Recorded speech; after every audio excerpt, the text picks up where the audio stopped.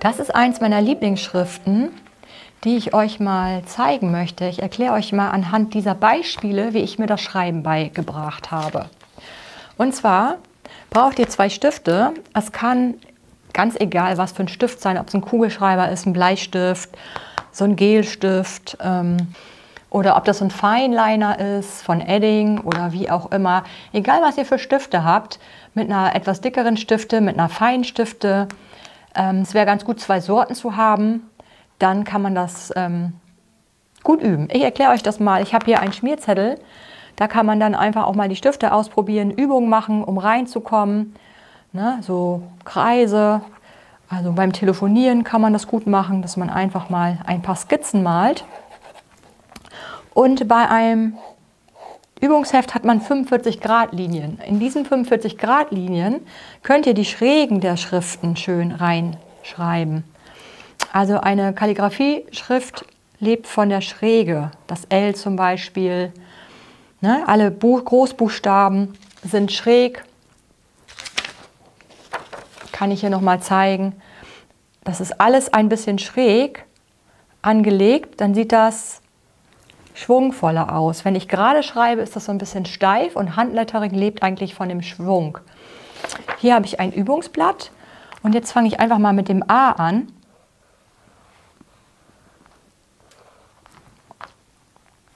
Na? Und jetzt kann ich mir die Seiten so ein bisschen dicker malen hier. Auch das A kann ich hier an der Seite ein bisschen dicker machen eventuell noch ein bisschen den Strich, wie ich das gerade möchte. Die Seite lasse ich total dünn, damit wir Spannung aufbauen. Das B sieht dann so aus. Auch hier male ich mir diese schräge Linie so ein bisschen dicker. Den Schwung von dem B.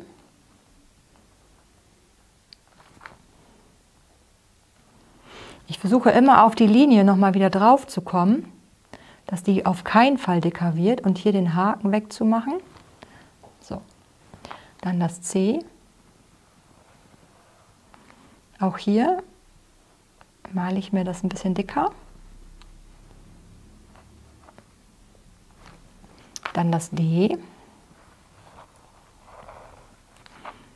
Ich kann es auch, wenn ich das mag, verschnörkeln.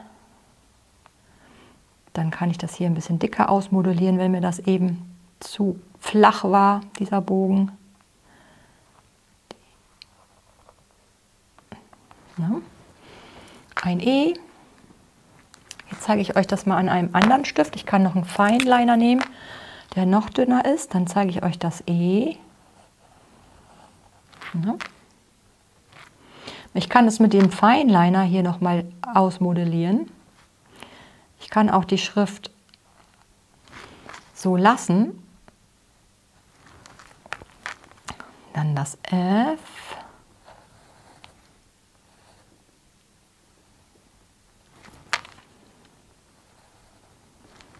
So. Und dann das G.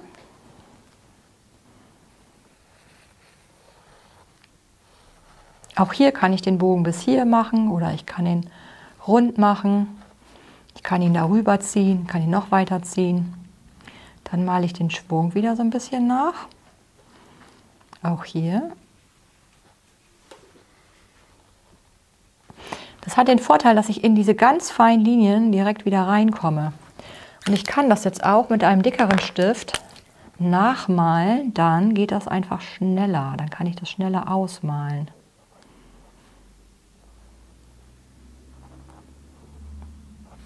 Okay. Jetzt ein Haar.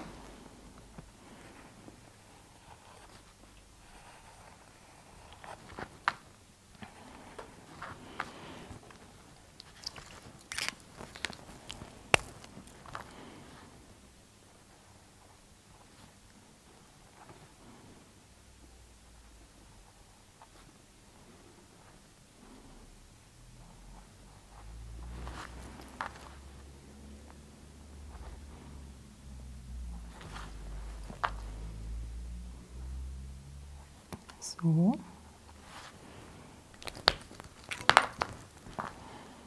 E. Die Hilfslinien, die helfen schon sehr, in dieser Schräge zu bleiben. Die erinnern mich auch immer daran, schräg zu schreiben. Wenn ich keine Hilfslinien habe, dann kann das schon mal sein, dass ich so ein L ziemlich gerade mache. Wenn ich das jetzt mal so zeige, dann, wenn ich keine schrägen Linien habe, dann verfällt man oft darin, das gerade zu schreiben und nicht so schräg. Also hier nochmal der Unterschied dazu, wenn ich das schräger mache.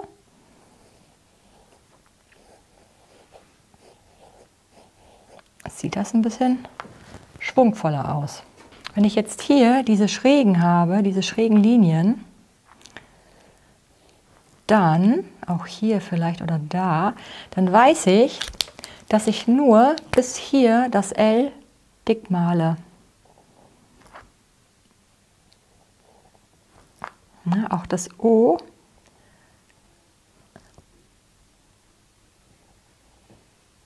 Ne, ich mache das O jetzt nicht so, dass ich alles dick mache, sondern ich gucke schon,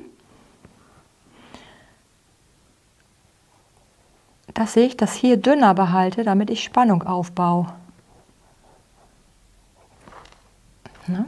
Auch bei dem A von hier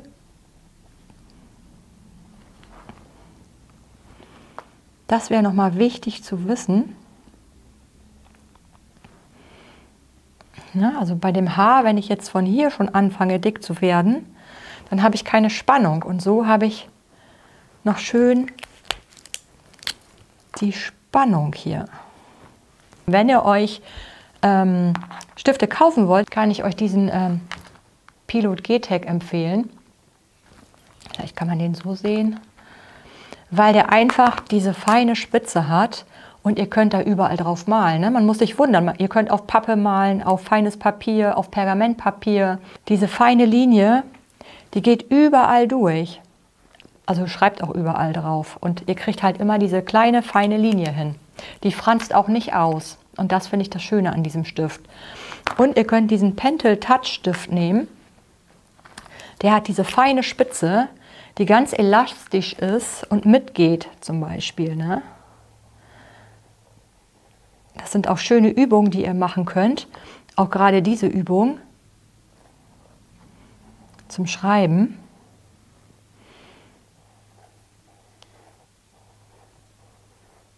Und ich mag es einfach, wenn ich selber das in der Hand habe und ich kann die Linie dicker machen, wie ich das möchte. Also das ist meine Art, das Handlettering zu lernen.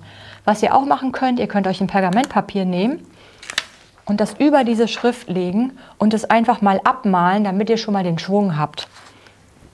Dann könnt ihr einfach den Stift nehmen, über das Papier drüber malen, dann hat man das schon mal gemalt, man hat schon mal die Übung und dann würde ich mir immer diese Schriften griffbereit legen, dass ich, wenn ich eine Karte schreibe, einfach mal schauen kann ganz schnell, wie sieht das S nochmal aus für Happy Birthday, das H, das A.